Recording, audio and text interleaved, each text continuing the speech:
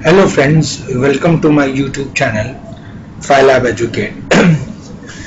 Today I am discussing with you a numerical problem from Nootan physics from the chapter friction and the question says a body slides down from rest from the top of a 6.4 meter long rough plane inclined at 30 degree with the horizontal and they want us to find the time taken by the block in reaching the bottom of that plane. The constant given as coefficient of dynamic friction as 0.2 and acceleration due to gravity as 9.8 meter per second square friends. So let's see how to solve this particular problem. So friend as per the question this is a rough inclined and we know that the block has slided down the incline the length of the incline happens to be 6.4 meters. So friend this distance happens to be the length of the incline that happens to be 6.4 meters. The angle that the incline makes is 30 degree.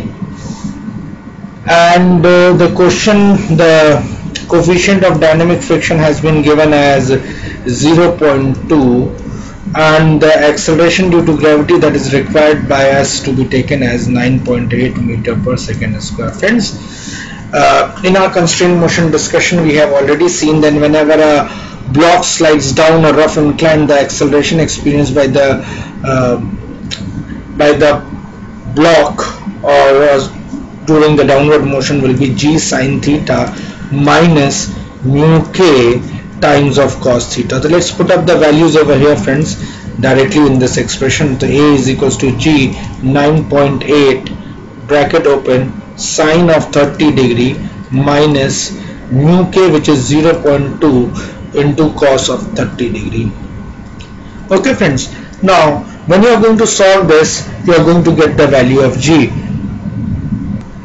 Friends, this acceleration comes out to be 3.20 meter per second square from on solving. Now they want us to find out the distance traveled. Sorry, they want us to find out the time taken by this block to come down the incline. So you know the equation for uh, displacement happens to be s is equals to ut plus half at square. So displacement suffered by this block from while moving from this initial point from this initial point to this final point will be 6.4 so this distance is 6.4 you have got this initial velocity was 0 plus half into acceleration happens to be 3.2 into t square.